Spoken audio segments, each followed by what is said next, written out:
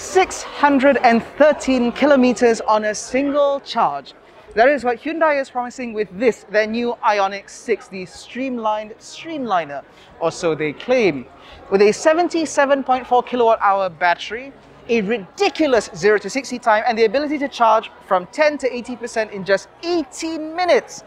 Is this now the EV to watch? Is this a new baby Porsche Taycan? Well, in this video, we're going to take a quick walk around to find out. My name is Aiman I. Abdullah, this is Malaysian Motoring, and welcome to the launch of the new Hyundai IONIQ 6.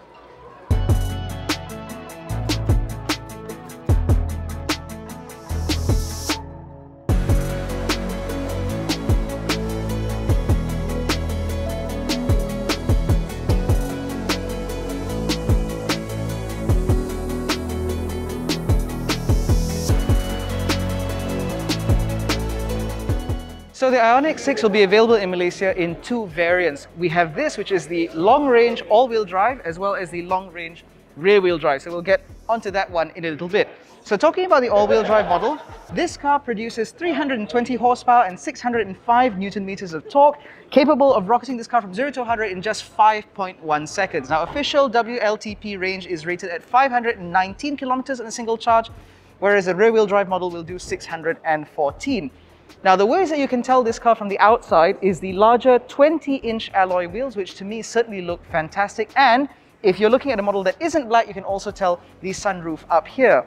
But otherwise, these cars are exactly the same. So you still have the intelligent front lighting system, which includes a matrix LED system, which will be able to blank out the beam wherever cars may be, while still maintaining full beam everywhere else. You of course get this very sleek body, a four-door coupe-like exterior, although it is worth noting that this vehicle does not come with frameless doors, which I think is a little bit of a um, disappointment to me. Now, despite its fastback look, you may assume that this would be a fastback or a five-door, but it is not, because this is a traditional saloon in every sense. By accessing a button here, you can see that there is very much a boot behind which you will find a pretty decent amount of space. It's not the deepest space in here, but it does go in quite a way and the rear seats do fold 60-40.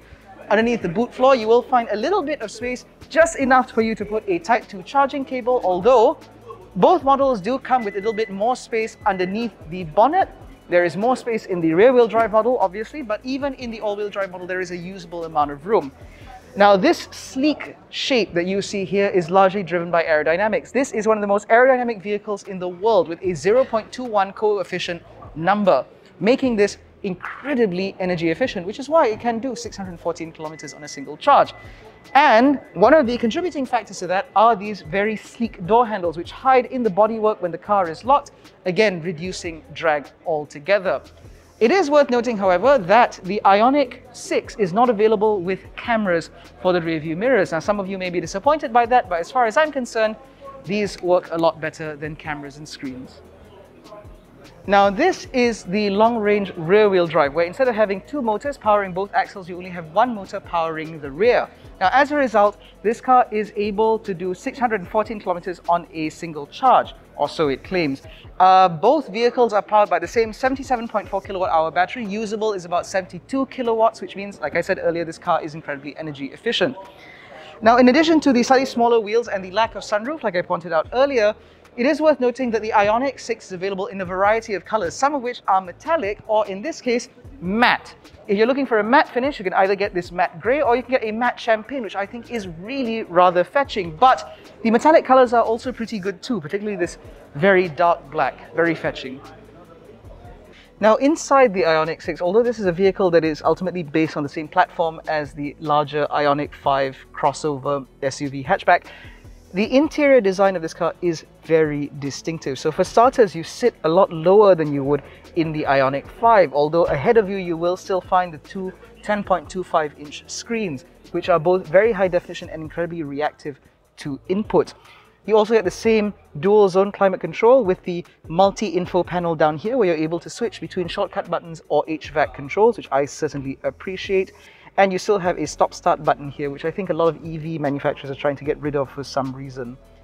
Now, in terms of interior accoutrements, you do obviously get electric ventilated and heated seats on either side. You also get electric adjustment, as I mentioned earlier, with two-stage memory functionality for the driver, which also includes the mirrors, allowing you to share your car with a spouse or a partner, perhaps. The steering wheel is both tilt and telescopic adjustment, which means that you can get very comfortable in this car and have the steering wheel exactly where you want it. Now this two-spoke unit is not only very easy to use with very tactile buttons, so it's very easy for you to figure out where all the functions are. You also have a drive mode selector down on a stalk here, which I think is very functional. And most importantly, you also have these four LED squares in the middle of the steering wheel boss that will be able to tell you your state of charge. Your gear selector is over here, and while you have these very beautiful door cards which integrate the Bose speakers down here, what I do find a bit odd is the fact that the window controls are all here. That said, your lock and unlock for the doors is also here, which I think is quite practical. You get a wireless charger here, a couple of cup holders, and a decent amount of space in the central storage channel where you will find two of the many USB-Cs available in this car. You also have a floating center console, which means you have more space down there. Now, as I mentioned earlier, the long-range all-wheel drive does benefit from a sunroof, and so when you have this relatively dark interior, you will appreciate the fact that you can let in more light through the roof. However, I would argue that the Ioniq 6 slightly more sporty, more dynamic character may benefit from this slightly more hemmed in sensation. And sat here, visibility does seem pretty good, although rearward visibility is somewhat compromised by that roofline, but overall, it's still a relatively pleasant place to be. And I certainly want to be in one of these very soon. Now, in the back, you will find a pretty decent amount of space. With this seat set up in my driving position, I have absolutely acres of knee room and headroom is pretty good too. I'm about 170 centimeters, definitely taller than the other slightly larger presenter. And as you can see, I am very comfortable back here. It is worth noting that the floor is quite high, which means even sat like this, I do not really have that much under thigh support, which means I'm most likely going to end up sitting like this. But because of the masses of legroom, I can actually sit cross-legged quite comfortably. Now down here you will find a couple of aircon vents but no AC controls and a couple of USB-C ports to charge up devices. You also have a central armrest where you'll find a couple of cup holders and on this front passenger seat, not only do you have buttons in order to control the seat fore and aft as well as the tilt of the backrest, there's also a button that allows you to completely fold the seat forward for better legroom and visibility, which I certainly appreciate. Now, as I mentioned earlier, this fastback design does come with some degree of compromise and that comes in terms of overall visibility because back here the glass house is really not that tall and so children sat in isofix mounted seats back here may experience a degree of car sickness but as far as I'm concerned for adults this is a pretty nice place to be.